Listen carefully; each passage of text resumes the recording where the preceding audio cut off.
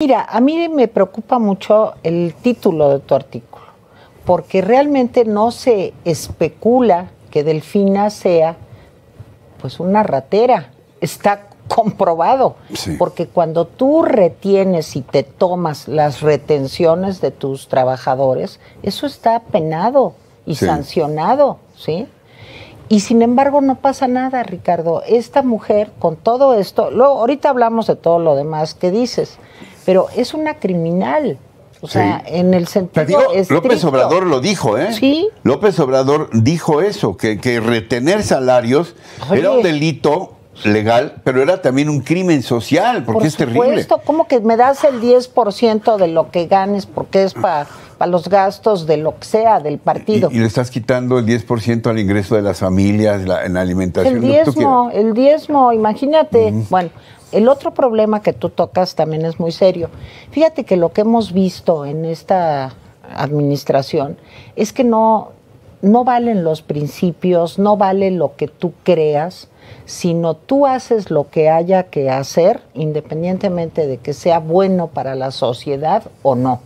Que se acaban las escuelas de tiempo completo. ¿Por qué eran tan importantes? Porque había y hay en nuestro país, desgraciadamente, todavía muchos niños desnutridos que no pueden adquirir conocimientos, tener un aprendizaje correcto, Ricardo, pues tú lo hablas ahí también.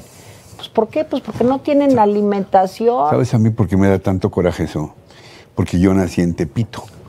Y para nosotros en la escuela oficial era una maravilla Claro. esperar esos cartoncitos donde te venía un, huevo cocido, un sandwichito, una fruta, un plátano. Una este Era maravillosa. alegría, Alegría, también esos de gelatina. cacahuate, ¿cómo se llama? Palanquetas. Palanquetas. Bueno, y entonces yo sé lo que es para, para, para muchas familias y para los propios niños el tener ese complemento alimenticio. Es un crimen también quitárselo. Es un crimen, pero mira, es que no hay valores, no hay principios. Yo creo que ella, por si tuviera decoro y dignidad, ya debería de haber renunciado.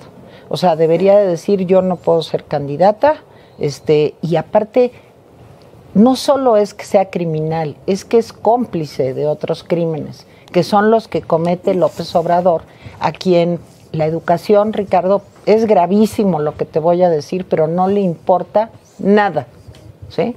Todavía ya ves que dijo ayer que Álvarez Bulla, que una mujer tan inteligente, que tan científica, que tan quién sabe qué. Yo tengo una opinión totalmente contraria. Pero si le parece eso a López Obrador, ¿por qué no la puso en la Secretaría de Educación? ¿Es demasiado para la educación de los niños? Cuando este problema, si quiere salir de sus problemas, tendría que estar apostándolo todo a la educación. Y fíjate, ahora que, que se está haciendo el análisis de lo que ha sido la gestión de esta mujer, no solamente, no solamente haber cerrado las escuelas con ese pretexto idiota de que pues que necesitaban pintura y que por, Sí. en, en lugar de, de darles de comer a los niños, pues compraron botes de pintura.